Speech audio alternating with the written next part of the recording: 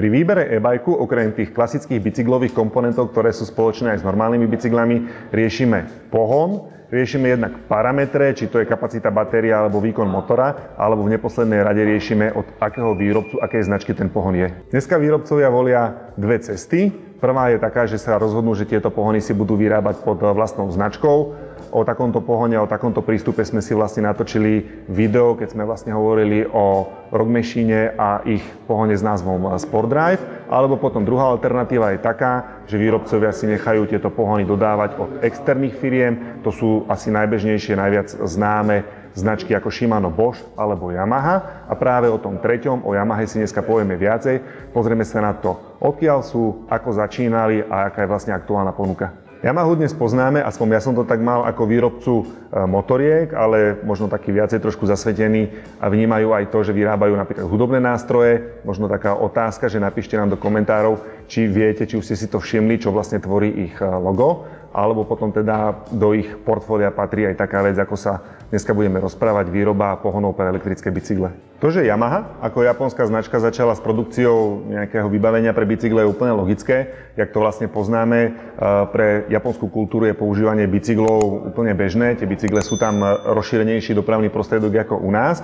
Možno niekoho prekvapí, že vlastne prvý motor sa pokúšali pridať na bicykel už v 70. rokoch čo treba povedať, že tento e, motor bol najprv spalovací a bol to bicykel určený skôr na nejaké mestské použitie.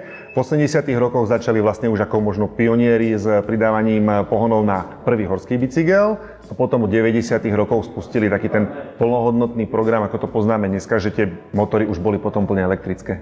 V priebehu času sa menilo aj názvoslovie, ale čo je dôležité, aby ste sa vedeli orientovať v dnešnej ponuke, je, to si vlastne vysvetlíme, tie dve písmenka, ktoré sú označené na e, motoroch.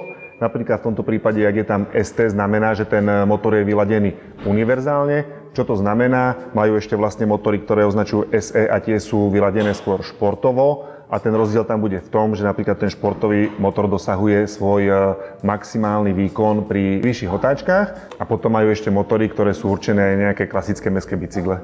Keď ste napríklad rozmýšľali, prečo je hmotnosť e-bajku väčšinou cez 20 kg, tak si môžeme vlastne povedať aj nejakú orientačnú váhu jednotlivých komponentov a pri motore to je väčšinou okolo 3 kg. Môžeme si povedať aj nejaké základné rozdelenie, čo sa týka ich e, displejov. Je to v podstate jednotka, cez ktorú sa e, pohon ovláda. E, tento základný model, ktorý najčastejšie vidíte napríklad aj na týchto bicykloch Highbike, má základných 7 funkcií. Vidíte tam tie klasické veci, ktoré pri jazde na e-bike potrebujete vedieť, ako stav batérie, dojazd, zvolený režim a potom sú to také tie základné funkcie bežného cyklokomputeru, rýchlosť, prejdené kilometre alebo celkový počet najazdených kilometrov. Určite si niečo povieme aj o batériách. Batérie sú najčastejšie od Yamahy v dvoch kapacitách, 400 alebo 500 Wh. Je zaujímavé, tiež si môžeme povedať údaj o hmotnosti. Takáto batéria začína niekde okolo 3 kg a na stránke Yamahy som sa dočítal, že nabitie tej menšej trvá asi 3,5 hodiny a tej väčšej asi 4 hodiny. Takže to boli základné informácie o značke Yamaha. Viete, že je to firma s bohatou históriou ale čo je lepšie ako akékoľvek teoretické informácie je, že sa pri výbere e-bajku na ňom aj reálne zveziete. Takúto možnosť máte aj u nás v Hrádku. Máme tu poskladaných, pripravených na vyskúšanie viac ako 30 elektrických bicyklov, tak sa tu na vás tešíme. Čaute.